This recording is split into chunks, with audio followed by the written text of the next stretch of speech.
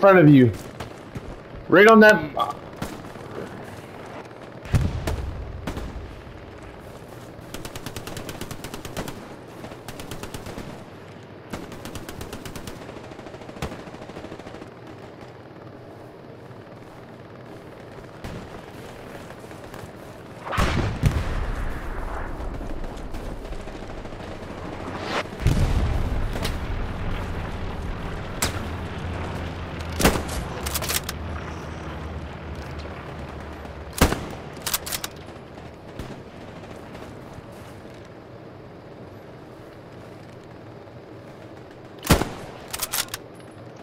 Friendly strafing run coming in.